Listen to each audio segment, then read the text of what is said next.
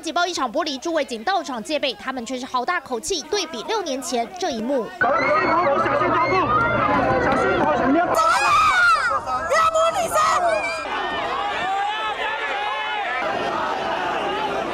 太阳花学运大批学生不满服贸协议，手上没有任何权利，不得不走上街头，冲进立法院抗议。如今蓝委不满陈局被提名，却放着公权力不用，选择大动作博版面。那个感觉就比较像是说，呃，廉价的最后一天，他们跑进了自己的办公室。你自己的办公室，你为什么要打破玻璃冲进来？人事案临时会就才要送到立法院，就是为了要给立法委员、给立委诸公们去审查。就国民党的委员审查都还不审查。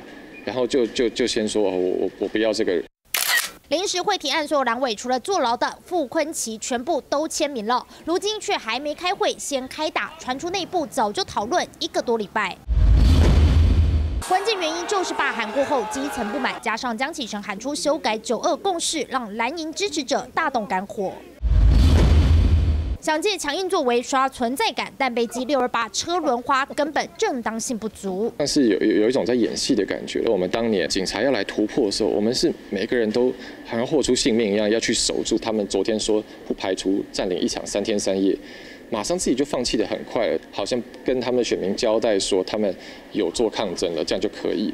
监委提名蓝委抗议大闹立法院，想借此达到政治目的，恐怕离谱行径，也只是让人不胜唏嘘。三立选台北综合报道。